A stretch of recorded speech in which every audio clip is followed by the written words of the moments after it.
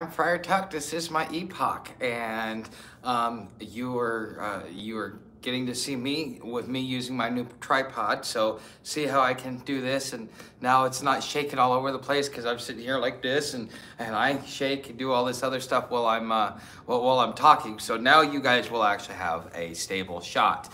Um, and as you guys see, I also got Sam her. Uh, her doggy sleeping bag and I'm telling you she absolutely loves it. Last night it got down to about 40 degrees and uh, she um, she did well and the, the sleeping bag was fine. I, I, woke up once to help put her back in the sleeping bag because uh, she woke me up telling me I'm cold, I'm cold. So, hey, what's up, Joe? Uh, nice to see you as well. Uh, so that's one update. And then I want to tell you guys another update uh, of some things that you guys might be seeing. So if you are subscribed in your feed, you will see that I have been posting videos and, you know, making a comment about it, probably even hashtagging it you know, uh, and, doing some real SEO. So what I've been doing is uh, I can keep creating new content, but there is some older content that I've done that it was actually done really well because I had the right setting, the right ability to be able to uh, put it together. And plus, you know, in the beginning for probably the first couple months until I uh, got out on the road because uh, you know I was housed up for probably the first three months of this channel, and so anyways, you know I just I, I had uh, I had Adobe. I was you know putting a lot more effort into my editing, and you know there was there was a lot more uniformity. You know something that I hope to get back to once I get into maybe some sort of uh, stability. And that's kind of what I'm working on right now. And so I've been going back through and, uh, you know, re-keywording them, uh, rewriting the description, putting chapters in, changing the thumbnail, maybe even changing the title. And then I am throwing it up in the community tab to let you guys know and I would strongly encourage you to come over and you know see some of these videos because you know I'm, I'm going through them and if they're if they're not good enough uh, to meet the quality of content that I've got going on right now, um, then what I'm going, then what I'll end up doing is I will get it unlisted and I will put it for free over in the members, the, the free member section over in um, on Patreon. But uh, right now, I haven't found anything that is like that, that isn't a quality content that portrays the message that uh, I've, I've kind of, you know, because when I first started out, I was like, okay, am I a prepper? Am I homeless? Am I both? What am I? Like, what do I talk about? Do I talk about this? Do I talk about that? Some things I had knowledge of, some things I didn't. Uh, and you know, and, and, I kept trying to navigate myself. So what ended up, uh, you know, I, and I ended up falling into the homeless niche uh, as far as you know. But I originally started off as hobo prepper, so you'll probably hear, "Hey, hi, welcome. This is a hobo prepper, and I am Friar Tuck." That is because up until I got to Chattanooga.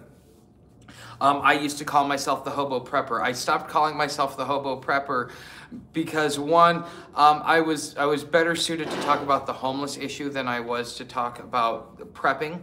Um, even though it's kind of something that I've been doing for a majority of my life, I just I don't there's a lot more a lot better skilled individuals out there. So I just kind of took that away. But also anytime I mentioned the word hobo in the city of Chattanooga, I would get ran out of coffee shops. Uh, I would I would get ran out of anywhere that I was because they knew what the word hobo meant. And they're like, oh yeah, no, we don't want a guy like this in in our establishment. And so they would run me out and so I couldn't get any content recorded. I'd have to go run around the corner and, and stuff like that. So that's why I decided to change the name from Hobo Prepper to the Epoch of Friar Tuck because this is really a, a, documentation of my journey and the, the journey that I've been on. And you get to see how, you know, uh, how I had certain preconceived notions from my previous experiences and then kind of how things have changed and how I've come to understand the new wave of, of homelessness. Okay. So, I mean, you, you'll be able to watch me grow and, and, you know, also I will tell you I was probably about 150 pounds heavier than I am right now. So don't be shocked when I'm like, you know. So, um, but anyways, hey Jeremy, nice to see you. Did you change your name again? Um, okay, so uh, uh, hey Jason Carr, nice to see you. Joe, uh, I had uh, uh, a rep film uh, my 420 story three times noisy neighbors. Yeah, I love those yard bastards, man. I love the whole calling them yard bastards. Um, okay, so all right, I've said hi to everybody. Um, so let me go ahead and get into today's topic, which is, you know, homelessness and civil unrest. And um, I told you guys when I got back here to Cincinnati that I wanted to meet up with my friend that I had met. He used to be on a bike. He'd come down and see me by the river uh, every couple of nights. He was that one person that, you know, checked up on me, make sure that, that I was safe, that I was still alive, that I was still good. Well, um, where I'm sleeping at right now, he just happened to be, you know, riding along that area. So I, I ran into him. And him and I got to talking uh, about what's going on in Cincinnati and kind of how Cincinnati, you know, is getting more dangerous. And, you know, he he's he lives here. He's a local. He's you know he's homegrown. Uh, I believe he's he's from this this region at least. You know maybe just over the border, but you know he's he's from this area and to hear some of the things that he was saying about how how dangerous it's getting because he's watching it on the news and how you know just a few days ago some old man got beat up down the street. And I'm wondering like was this a homeless old man? Was this uh, you know what did the guy do to have that happen? Or was it random? You know and things like that. But and I've always told you guys that when it comes to when it comes to violence especially out on the streets um, there's no such thing as being random. Uh, you have to do something in order to have that come on you. People don't just, uh, people will talk and yell and scream and create drama and gossip about you. But when when it comes to fighting and things like that, uh, or or any acts of violence, there there is a line drawn, and you only get it when you got it coming to you. Uh, but I have started to see because uh, I think it was my last premiere that I did uh, a um, couple days ago where the uh, I'm, I'm standing in the alley where I always do and this guy comes by and tells me oh this is a black only alley. And I'm like really? I've been coming here last year and nobody's ever had an issue and him and I you know got to talking. I just like you know what? I'm not dealing I'm not dealing with somebody that's SOS which for those of you that don't know that means stuck on stupid okay? So you know, and and so I just I, I let it be. I walked away, um, and you know, it's I'm starting to see this become more prevalent. Uh, instead of, uh, of, violence being something that is provoked, um, it is starting to become something that is uh, that is not necessarily provoked. Like I was uh, walking down the street just a few days ago, and there was this guy where. Uh, like okay, he comes down. You ever seen somebody's eyes kind of like um, you know you see in those those really scary movies or those movies about like um, you know uh, uh, severe third world conditions and things like that where the guy's eyes you can tell that there's so much hate and there's so much rage in there that all you got to do is give him a reason and he's ready to go and he started he starts coming towards me and Sam and you know, I ended up taking a defensive position because I, I, you know, with Sam, I got to look around because there's always somebody trying to grab at her. And you know, this guy, this guy started coming towards me. I took a defensive position, uh, ready to, you know, exchange with this individual because I, the way that he was walking and everything else like that. And I, I think it's only a matter of time before individuals even like that just start going off because everybody's starting to get frustrated for various reasons. Um, there, there's the, the homeless services are are being uh, drained down. A lot of the the toll that is affecting the homeless is being affected because of what's going on with immigration, and so the homeless uh, are are having to compete with with other individuals. Uh, whether they have the right to be here or not, I'm not going to talk about, but it, they do have uh, you know, we are competing with those individuals to be able to get food, resources, shelter, uh, and all those different things, especially when, you know, cities like New York are no longer giving these migrants, you know, luxury hotels. So now they're, they're coming out into, uh, into the shelters with us okay? And you know although i'm not in new york this is this isn't just happening in new york. New york is just where they can put a magnifying glass so that you can kind of see the animosity and the frustration that the local population is having based upon all this. And so people in their frustration and plus you know uh, my my grandfather okay this is the other half of, of why i why i see the unprovoked aggression happening. Um, and the other half of that is my grandfather, uh, who was a World War II veteran, he was a subscriber to a magazine called The New American. For those of you that don't know what The New American is, it was started by a senator during World War II uh, to as a newsletter to inform Americans about the infiltration of the Communist Party into our government.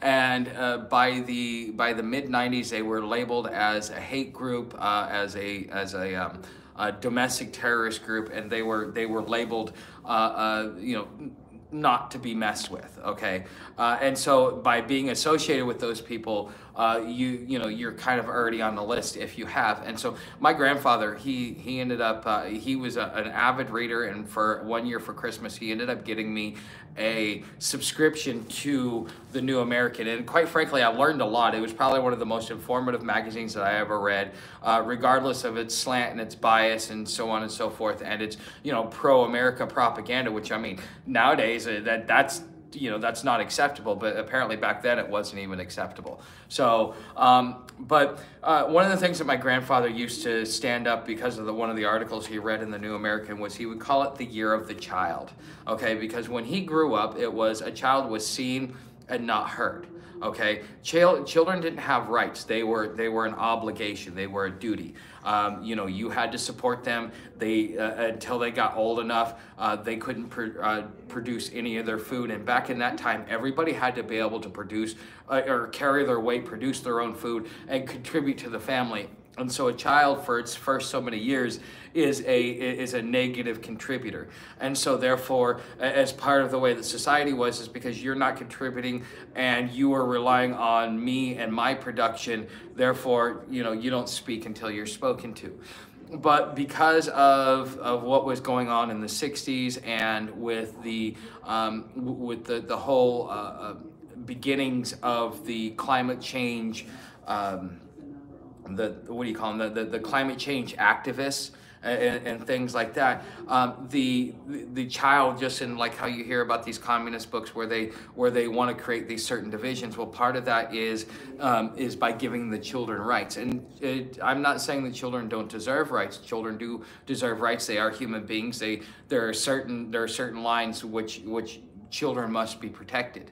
Okay, but the thing is, is we were on an extreme back then, and so now we've gone from from that extreme over here to this extreme, which is now you can't spank your child in, in public. See, at the time my son was born, uh, they were talking about because what happens okay let, let, let's talk about discipline in the home and how important it is okay? So if you have no discipline in the home uh, you sit there and and you tell your child don't do it but because your child has no respect for you because they know that you're not going to do anything about it and if you do uh, you're not going to follow through or be as effective as you think you are. And so therefore they're like why, why the hell should i listen to this individual? Right Okay, well, then all of a sudden they go to school and they, they get into a fight with another kid. And then that kid um, goes to the hospital because of how, how your child did what they did.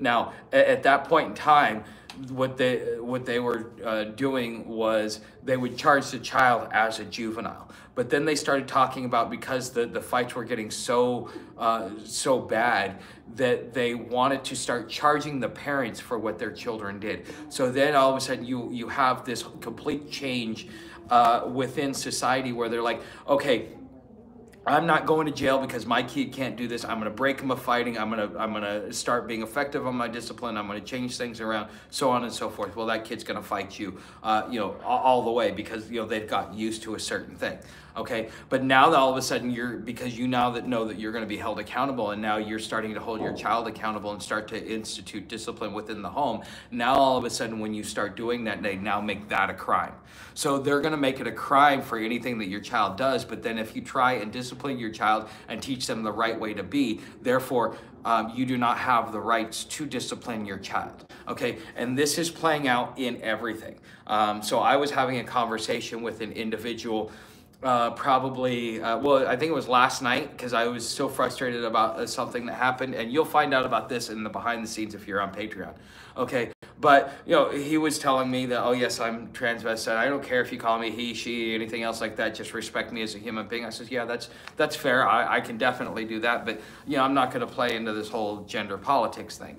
And you know, him and I, you know, we sat back, we had a conversation, and and you know, he's like, I, I'm like nobody's here to hurt you. Nobody cares that you are who you are. You know, you just be you, and you know everything's to be fine. Uh, you shouldn't you shouldn't be listening to all these horror stories because uh, there there are probably extenuating circumstances. And and he turns around and explains to me, it's like, look, unless you live my lifestyle, you don't know. And I'm like, you know what?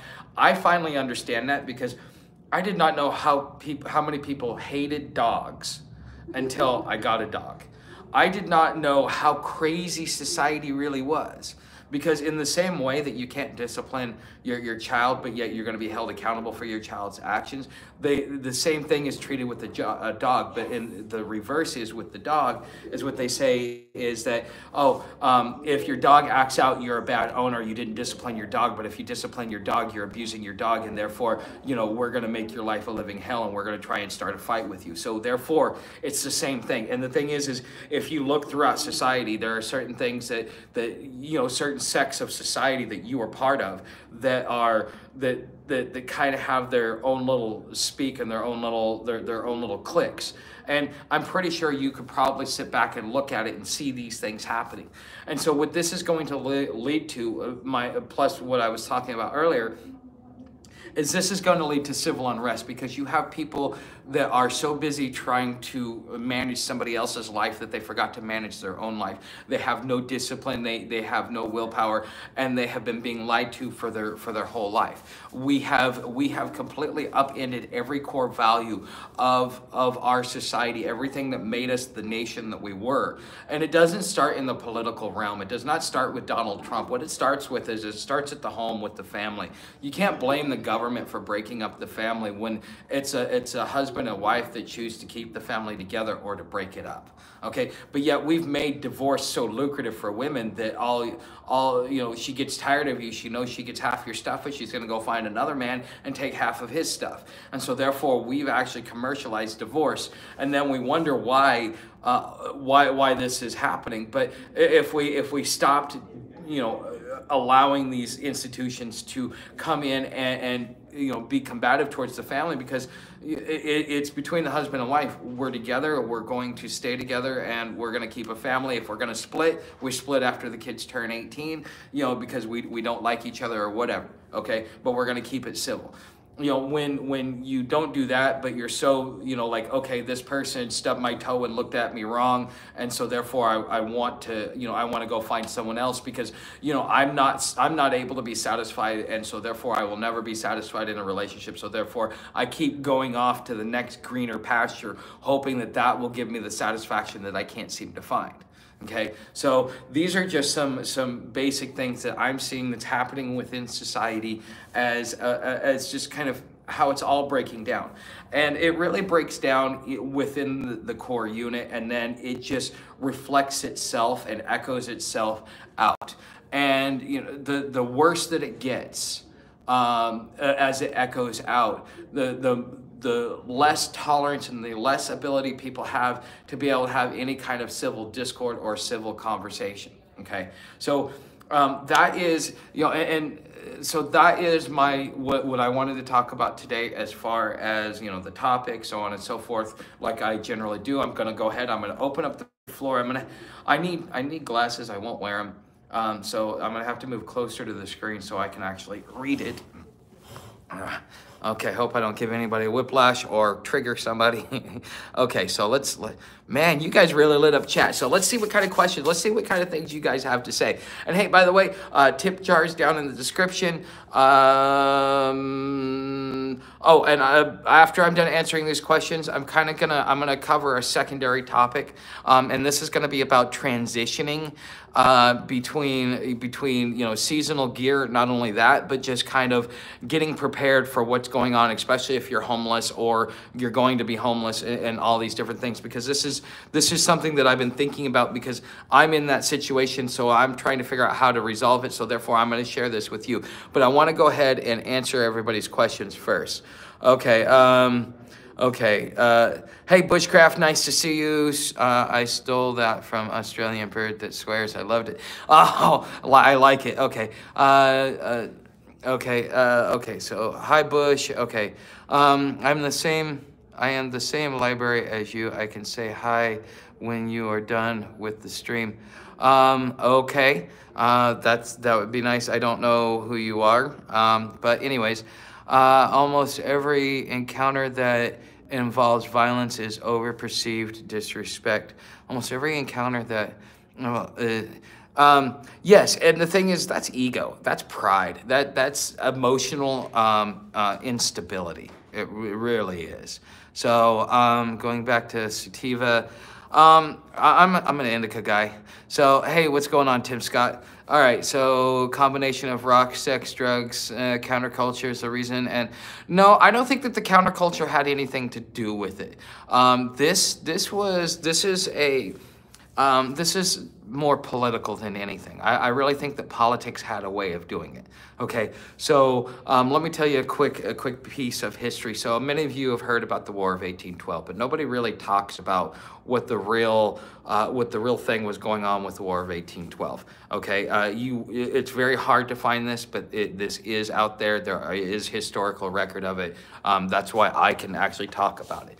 Okay, so um, Post-Revolutionary War, uh, the, the Crown Bank of England, like the Rothschilds have always done, have loaned to both sides. Okay, so we owed money to the Crown Bank of England, to the Bank of France, and I think to, to the, the Bank of Germany. Okay, so we owed all this money. So because we couldn't pay that money back, uh, they instituted the, uh, the, the U.S. Constitution. Okay, that's what caused the Constitutional Convention because uh, the Articles of Confederation did not give the government any teeth to be able to lay and collect taxes to stabilize the currency to per you know to common defense. It was just it was it was a, a, skeleton of a government to begin with okay? So once they did the, the constitution it was ratified in in 1789 uh, with the bill of rights thanks to thomas paine. Uh, about 20 years later is when the charter for the first uh, bank of the united states was up. And be part of us being able to pay back our war debt and part of the contract that was going on there is that the crown bank of england through um, not Thomas Paine, uh, Alexander Hamilton uh, was able to dig their way into uh, into the whole uh, constitutional convention. And uh, we, as part of us paying our debt back, we had to keep the Crown Bank of England. Well, in a way to be able to say screw you, or to screw you, we don't want to renew the charter. We'll pay our debt, but we're not going to do this charter because you know it's taking away our freedoms. And that's what started the War of 1812. Uh, was was really that. So. Um, you know, so to, to be able to say that uh, that, that, you know, counterculture and all this stuff has something to do with it, I, I really, uh, I, I, disagree. I think this is political because even um, when we had the Civil War going on, uh, uh Abraham Lincoln and the uh, the chairman, I think, of the Bank of New York uh, was you know going back and forth, and the the, the banks actually tried to uh, cause the North to uh, to fail because they wanted the South to win uh, for various reasons, because of free trade and cotton, and they didn't want to pay for the dyes. And again, it was economics uh, uh, had a, a, big part to do with it, and, and so you know, um, just but anyways, I just count the with what was going on in in the New York Times in the editorial section, they were doing shots across the bow between Abraham Lincoln and the chairman of the Bank of New York, I believe. Okay, and so they believed, and they even did it to Andrew Andrew Jackson. Andrew Jackson uh, ended the second first Bank of the United States by paying back all of our debt and removing all of the gold from the second first Bank of the United States to give us 87 years without a central bank. That's part of what made America great. So again, I think it has to do with subversion through the political spectrum. Okay, the in um, around, I think it was around 1812, 1815, there was what's called the original 13th Amendment. The original 13th Amendment is uh, no titles of nobility. Now, post-Civil War, it was integrated into the actual Constitution, and then they replaced that 13th Amendment with um, neither slavery now nor involuntary servitude shall exist within the United States, okay? And um, uh, uh, so the the the big thing was is that lawyers because they were operating on behalf and represent the interests of, of the financial parties, uh, mostly the bank, because they wanted to make sure that their that their financial interests were protected. So therefore, they created the Lawyers Guild uh, for their own protection.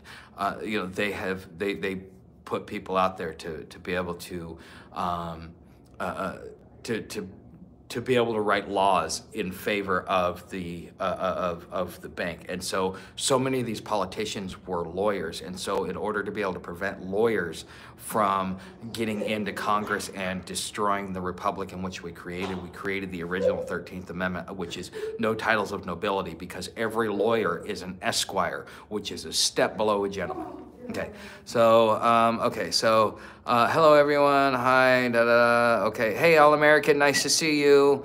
Um, uh, okay, glad to see Sam in the sleeping bag, yes, thank you. Uh, I got a job outside of Charlotte, North Carolina. Oh, nice to see you, Slack. I am in Cincinnati. Um, well, that is good. So you got a, a, out of Charlotte, North Carolina. What you doing, man? Tell me what you're doing. So, okay, uh, uh, trust me, divorce is expensive because it's uh, worth the money. Yeah, of course. It's a, you're the one as the guy that has to pay the bill while the woman gets. Yeah, it's it's the limited liability. Okay, say uh, okay, Slack. Take care. Uh, okay, slavery still exists all over the world, yet no one brings that up. Yeah, it actually exists through. Um, uh, there was actually a white paper written about it. Uh, professor out of Oregon, I think it was maybe Carl Jung, um, who uh, who wrote it, and yeah, basically he said that, that the corporations disliked the uh, dissolution of the plantation because it was easier to take care of your uh, of your livestock or your assets, as they uh, uh, so commonly refer to us as. Uh, it was much easier to take care of us and, and, provide us with food. Now they actually have to give us a livable wage, and so therefore it cuts into their profits, and then they have to deal with power and control issues. Okay, so but. Um, Okay, so can somebody, I, I said I was, I'm trying to keep my, I, am working on my memory, but my memory is always going to be bad. So if one of you guys that are really, really listening to me and uh, know what I was talking about, uh, what I said I, I would talk about here in a minute. Um, oh, oh yes, I remember what I was going to talk about.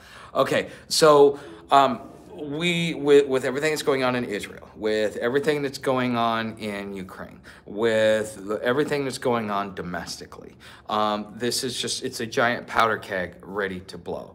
Now, one of the the one of the things that I wanted to do while I while I started this channel, one of the things that was um, important that I cover in my journey of homelessness was to be in the cities to catch the civil unrest, to be able to catch a lot of that stuff because I wanted to be able to document the uh, the crumbling of society from my point of view.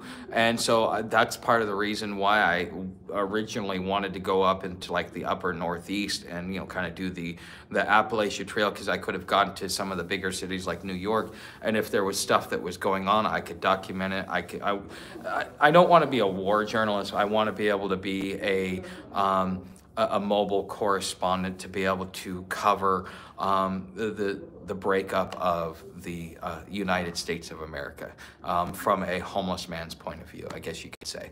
So that's kind of one of the things that I was hoping to um, to, to kind of be a part of, which means I'm going to be putting myself in danger, which means it's important that Sam acts appropriately because if she doesn't in the wrong situation, um, it could cost both of us our lives, or at least me mine, okay? Or even worse, her hers, okay? So, I mean, it is what it is, but you've got to um, really. Uh, uh, you know, I, have got to be really thoughtful about that. So with the the way that everything's kind of falling apart, and the the one thing that I keep talking about, what makes Cincinnati so attractive uh, for this time in, in, in history, for this point in history, Cincinnati is attractive for one primary reason. I can hop on a trail if I go east. I can hit the AT. I can hit the um, I can hit the the East Coast Greenway. Okay, if I go um, if I go west, I could hit the Pacific Coast Trail, the Great Divide. Um, and then I could go north or south, and then I could hit the Southern Trail that goes off, or the, the, the Middle of America Trail, or the Northern Trail. There, this is basically if you want a perfect jumping off point to go anywhere in the country and you know just have a, a, good place to start that gives you the best logistics cincinnati is that place for for that time being okay so what is it that that i am that i am working on one of the things that i am working on is that um, i i i want to be able to have a day pack with me okay? So like a 40 liter backpack, okay? It's not gonna be that big, it's just large enough for my sleeping bag, Sam's sleeping bag, the tarp, uh, my my camera gear, and um, and just like my my basic stuff that I need to be able to go around uh, around town. So it's not some big girthy bag that I'm walking through. Because I mean, with, with, pockets on the side and kind of bulging out in some in certain areas, just it's kind of hard to even walk down an aisle. So I want something that's more compact that allows me the opportunity to um, to be a little bit more mobile and it'll also be a little bit lighter on my back. Um, and plus when, um, when I go into certain places, it's just, it's gonna be a lot uh, easier to deal with versus having the big old backpack.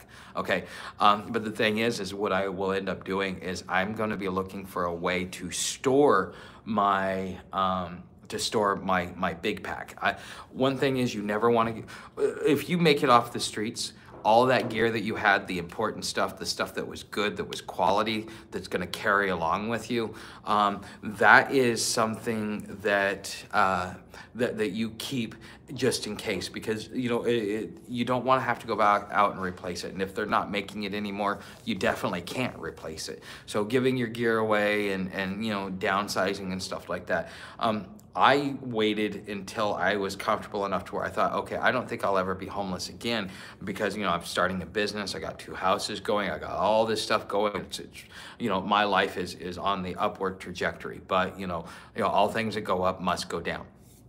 And so with, with that being said, I just, um, I've always kept my gear, and the one time that I didn't was the one I, I, really regretted it because I had a really, really nice Coleman 90 liter backpack. I paid a hundred bucks for it, and I bet you it would still be intact today. Um, and, and, it would, you know, and that would have saved me a lot of money um, and a lot of hassle uh, for what it, what it was that, that I ended up going with. Okay, um, you know, having a good sleeping bag. If you you know you don't want to get rid of it, wash it, store it properly, air it out, stuff like that. Keep it around because you never know um, when the world's going to turn upside down and you're going to end up being uh, thrust back out here because the the unfortunate statistic is is that once you've become homeless, you are more likely to become homeless over and over and over again, uh, and for it to become something more chronic, uh, and you know it requires a, a lot of different things. Okay, so. Anyways, it looks like I am losing people's interest. So, real quick, I just want to ask you guys: Do you guys have any questions for me? Anything that you guys would like to know? Um, any updates? Anything else like that? Um, uh, uh, da da da da da. So uh, I, am gonna I'm gonna start kind of like winding down, and if I see a question during that process, then I will stop long enough to be able to answer. Um, I'm lurking, just rolling smokes. Oh, dude, yeah. You know what? Um, you better if you're gonna be if you're gonna be homeless. There's two things you should be good at. Um, one is is snipe hunting. If you don't know what snipe hunting is, that means going and finding little cigarette butts that have a little bit of tobacco on it and breaking it down, and then that way you sit there and you twist one up. Okay, so that is if you're a smoker um, and you don't know how to roll a cigarette, you better start learning now because there's going to come a time when you may have to do it not because you lose everything but because they're so damn expensive. It's cheaper to find to find a few butts on the ground and roll one than it is to go out there and buy a pack. You know and uh, you're it's it's not any less hygienic uh, than this than what you're getting out of a pack because you're not smoking the filter. You're taking the tobacco and you're taking all of the wasted tobacco and recycling it. Okay, so um, that's just that's just one thing. So uh, and I actually have a tutorial about this. If you want to come over to uh, Patreon, it's in the Hobo tutorial section on how to roll a smoke. Um, uh, you know, it's just that that's it's extremely important um, that you learn it. And I, I actually did a tutorial on it on my Patreon channel. Okay, so um, hey Cherokee, nice to see you. Uh, hey, you know what? I smoked a I, I smoked a bowl. Um, uh, before I started, so I always do. Um, speaking of, um, something that I'm not going to talk too much about, I'm going to talk more about in the um, in the behind the scenes because I don't want to talk too much, uh, uh, you know, just for various reasons. So. Um, you guys know that there's always people that anytime I do something with Sam, either they like it, they don't like it, and then they decide that it's their job to tell me how to do whatever it is that I'm doing with Sam. Okay, um, a lot of self-righteous people who they themselves wouldn't follow their own advice, and um, so one of them decided to try and start a fight with me last night, um, and. Uh, I'm like I said, I'm gonna save most of this for the uh, for for after effect. But anyways, uh, so they, they, try to start a fight with with me, and um, I think I blacked out for probably a good three or four seconds, maybe. Okay, because I all I remember was Sam uh, holding on to Sam. And next thing I come to, um, you know, I I notice that Sam is standing at attention, and she is like. I don't know, it's almost like she went on point because she knew something was up, something was wrong. Uh, and it's kind of like the whole world slowed down for me. Um, sound ceased to exist, and um, I I really had one of those experiences where it was like it, it was it was weird. It was it was it was definitely different. Um, the last time any I had a reaction like this, I was um, I was 15. Okay, so this was before my work accident. Since my work accident, every time that this happens, I've blacked out. So that's that's something to be able to to to learn and to understand. And so uh, I, uh, I I don't know if I did black out or if I didn't, but what I do know is that for the first time I had complete control over what was going on because the the second I looked up and saw who it was um, and what it was uh, I, I kind of stopped in my tracks because of instinct. And it was just like sitting there, just kind of like watching the world go. And you're so slow and just looking left, looking right, looking down before all of a sudden, just like it speeds right back up and you catch back up to reality. Uh, and, you know, uh, I, I, really managed to, uh, I walked out so upset that uh, uh, the security guard outside, he's like, man, I got to go in there and see what, the, what what just happened. But he missed it all. And the old man security guard that's there, he's so frail. He's like 82 years old doing security. What's he gonna do? Okay? And yet there's there's nobody doing that. So me i i'm making the choice to no longer go in their dining room and eat their food which means now i've had another avenue closed down because again we've got children you know lord of the flies going on in, in, by a bunch of adults in society okay? So but it is what it is. Can you talk about how people get robbed off uh, by uh, by being a fool. Okay, yes, I think you even asked me to to cover that. I will cover that in this live stream since it looks like we're covering people. So, um, uh, so so getting robbed. Okay, uh, I have to deal with this a lot with Sam.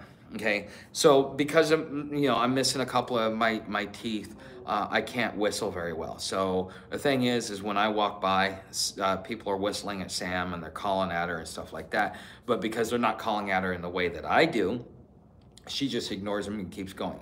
What these people are actually trying to do, and it, it happens uh, quite frequently, is that um, they are trying to peel Sam away from me. They're saying, is your dog disciplined enough and is your dog loyal enough? Okay? So probably about three or four times a week, I have somebody, whether it be within the homeless community, um, uh, whether it be in the house community or somewhere in between, uh, I have those individuals that are sitting there and they are um, uh, they're, they're they're making an attempt to do this okay so that's part of you know you you have to especially if you have an animal you need to be able to train it to do things and you need to be able to put commands and other things in there that are going to prevent your dog from being exploited. Because you know dogs are dogs are social. It doesn't matter how loyal they are to you. Dogs are social creatures and especially young the younger the dog the more apt they are to want to go play uh, uh, with people and you know get pet and get loved on and all this other stuff okay? Because dogs are dogs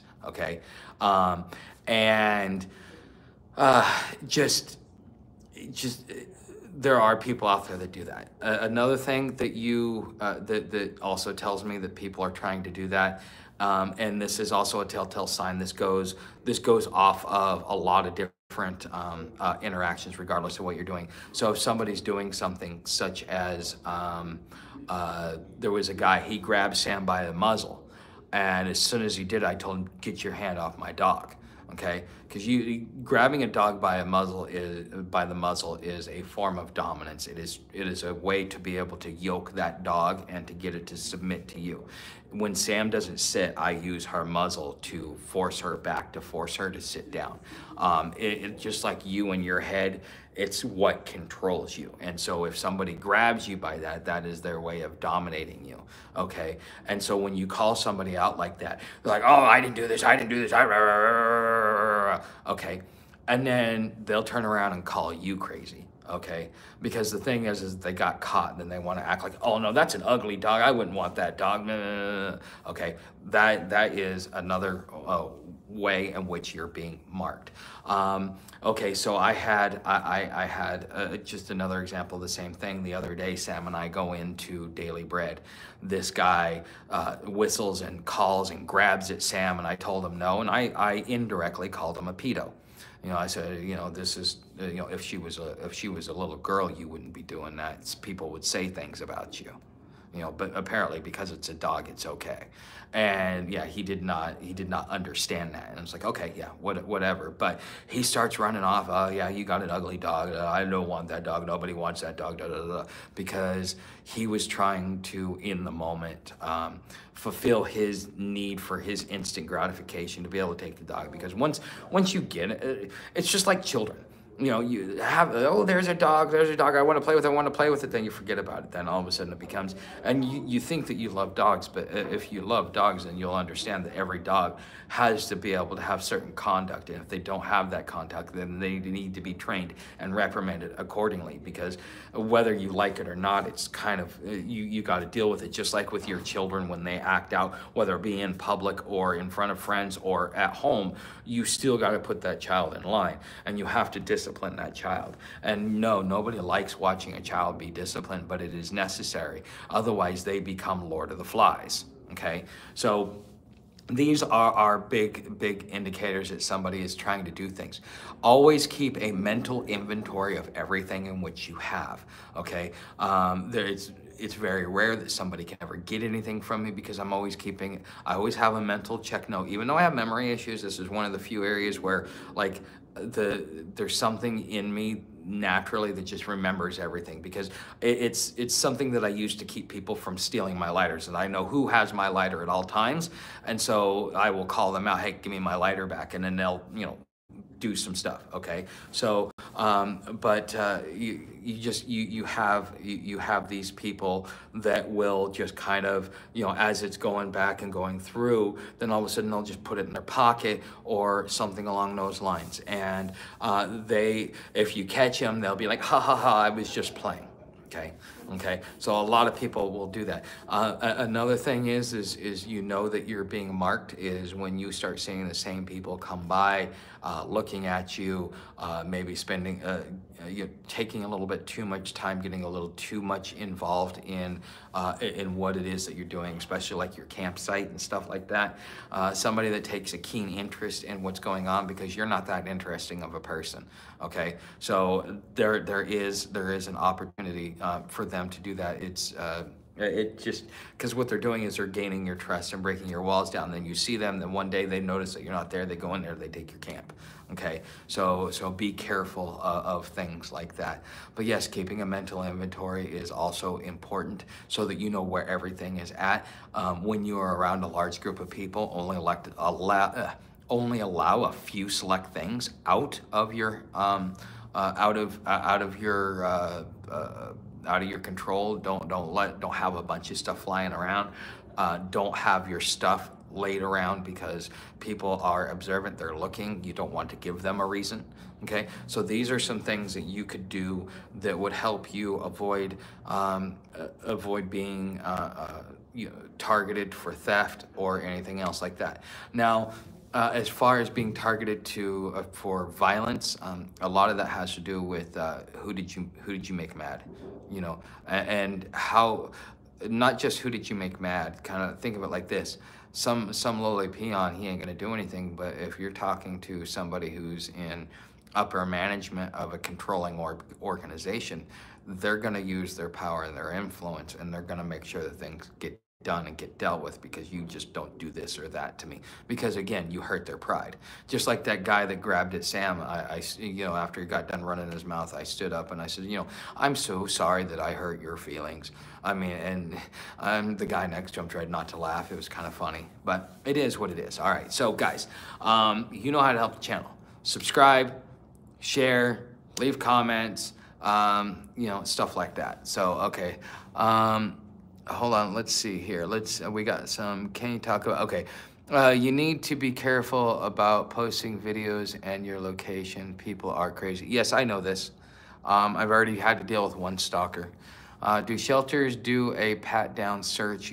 Uh, usually it's a metal detector. Sometimes they will do a pat down search. It just depends upon, you know, what kind of dictatorship you got in your local region. So um, let's see. Uh, that type of dog you have is one that has to burn energy. An energetic young dog needs to be checked. Um, yes, not only that, she, yeah, I, I could see that. Um, she she definitely does have a lot of energy and I take her to the dog park two two sometimes three times a day give her you know a good couple hours to just go run around with dogs but then you know I got to go to work. I got to come to the library. I got to you know get on the computer. I got to start doing my work. It's not like I can leave her at home. You know if I could leave her at home things would be a lot different. Um, but it is what it is. Yeah don't loan out lighters. Uh, I light for someone. You know what? Some people will will get really offended with you about that. And I think it's a 50-50 on whether or not they were actually going to do it to begin with. But, uh, you know, just some people are like, dude, I'm not going to steal your lighter. Like me, I, I understand it, but I'm like, dude, I'm not going to steal your lighter. I don't want your crap. But, you know, if I was going to steal your lighter, then I'd be like, you know, well, man, uh, your lighter's ugly. I didn't want it anyways. You know, something like that. Okay, so that that is that is that, and that is how that works. But anyways, guys, you guys know how to be part of the family. So again, everything is down in the description: tip jar, Patreon. Uh, come and become a subscriber on my blog or on my website. Okay, I want to start doing a newsletter, but I don't think I have any subscribers over there. So until I get my first subscriber, I'm not going to be making newsletters, and I am going to be trying to push it as much as possible. So please. come check out hobotuck.com. And um, I will see you, let's see, what is today, Saturday? So I will see you in Tuesday's live stream. It will be around, um, it'll be around 6, 6.15 uh, that I will, uh, that, that I will be uh, starting the live stream and uh, it will go till no later than 8 because that's when the library closes. But anyways, guys, I will see you in, um, in the live stream next week. And for those of you on Patreon, uh, I will see you in, um, I'll see you Monday, if not sooner, with um, some new video releases. So thanks for watching. See you guys in the next, uh, uh in, in the next live stream.